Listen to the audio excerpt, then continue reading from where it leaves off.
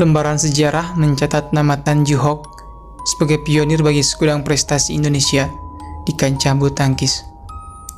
Ia merupakan peraih gelar All England pertama untuk Indonesia, menjadi orang Indonesia pertama yang memenangkan medali emas Asian Games pada tahun 1962 dan termasuk dalam tim The Magnificent Seven yang berhasil mempersembahkan Piala Thomas untuk pertama kalinya bagi Indonesia yaitu pada tahun 1958. Tan Ju Hock atau Hendra Kartanegara lahir di Bandung pada 11 Agustus 1937. Ia hidup mengarungi enam zaman dalam keluarga yang sebar pas-pasan.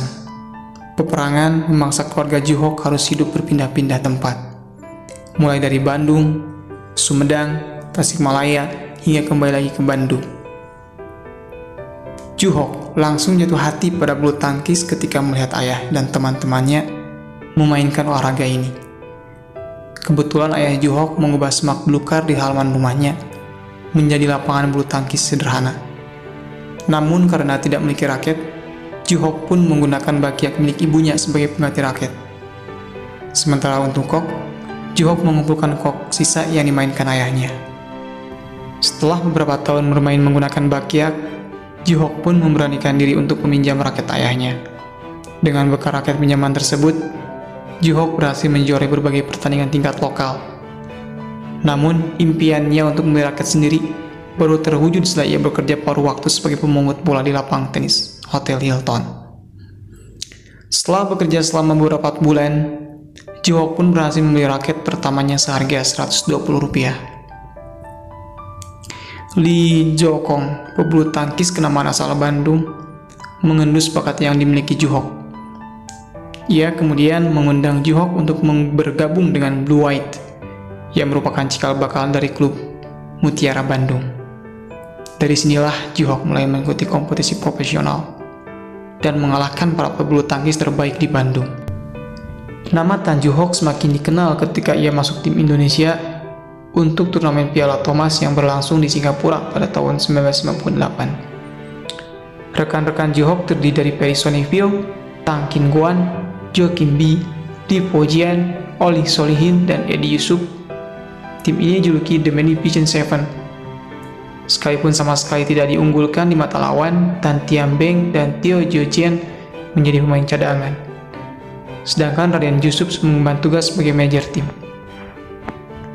Menjelang keberangkatan, para pemain menginap di sebuah hotel melati di kawasan Gunung Sahari dengan pertimbangan dekat dengan Bandara Kemayoran. Perjalanan ke bandara ditempuh dengan menggunakan beca. Dengan bermodal jas pinjaman, para pemain berangkat ke Singapura dengan mimpi meraih Piala Thomas untuk pertama kalinya. Ironisnya, keberangkatan tim ke Singapura hanya dilepas oleh Ketua Komite Olimpiade Indonesia, KOI, tidak ada pihak yang memperkirakan Indonesia mampu berbicara banyak di perhelatan internasional tersebut. Apalagi Indonesia merupakan pendatang baru dalam ajang ini. Kala itu bulu tangkis dunia dibagi ke dalam beberapa zona, dan Indonesia masuk dalam zona Oceania. Indonesia mampu melewati babak kualifikasi setelah berturut-turut mengalahkan Selandia Baru dan Australia, masing-masing dengan skor 9-0. Di grup lain, Thailand melaju sebagai perwakilan zona Asia Amerika Serikat mewakili zona Amerika, dan Denmark sebagai perwakilan zona Eropa. Malaya yang merupakan juara bertahan dalam tiga pergerakan sebelumnya langsung masuk ke babak utama. Di babak pertama, Indonesia bertemu dengan Denmark, yang di atas kertas jauh lebih diunggulkan. Di luar dugaan, Denmark berhasil digulung dengan skor 6-3. Erland Kops, juara All England tahun 1998, digulung Tanju Hock strike set 15-8 dan 15-5. Juhok juga berhasil mengalahkan Finn Ribeiro yang merupakan salah satu tunggal terbaik Denmark dengan skor 1-15 dan 15-12, 19-10. Juhok yang sempat dihabisi di set pertama sebetulnya sempat tertinggal 3-9 di set namun berkat keuletan dan ketenangannya ia dapat menyusul perolehan angka dan bahkan memenangi set tersebut. Dunia terkejut Juhok yang sebelumnya dianggap sebagai anak bawang oleh pers Denmark dan Malaya, kini mulai diakui keuletannya. Indonesia otomatis menjadi buah bibir di berbagai media internasional. Di babak selanjutnya, Indonesia bertemu Thailand. Indonesia kembali menunjukkan keperkasaannya, melibas Thailand dengan skor telak 8-1. Keadaan pemain terbaik Thailand, Chorean Watanasin dan Tanau Koza Bay yang sebelumnya hanya sekali kalah dalam turnamen ini dibuat tidak berkutik oleh Johok dan Sonnyville. Babak final mempertemukan Indonesia dan Malaya, yang saat itu diperkuat pemain terbaik dunia, Teh Keosan. Indonesia berhasil mengalahkan Malaya dengan skor meyakinkan 6-3. Indonesia pun berhasil merangkuh Piala Thomas untuk pertama kalinya. Sport Illustrated, majalah olahraga terbesar di Amerika, mengulas kemenangan Johok dalam sebuah artikel yang berjudul dan Johok Takes Detroit 13 April 1959. Artikel sepanjang dua halaman tersebut menggambarkan Juhok sebagai pemain komplit. Pukulan yang kuat, pengembalian yang sempurna, dan footwork yang begitu lincah.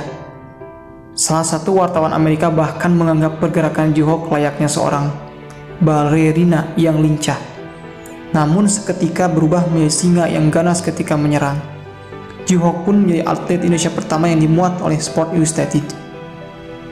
Setibanya di Jakarta, publik menyambut para pahlawan ini. Dengan gagap gempita, mereka diarak mengelilingi Jakarta dan diterima oleh Presiden Soekarno di Istana Merdeka. Para pebulu tangkis ini juga diundang ke berbagai daerah, mulai dari Bandung, Palembang, hingga Medan.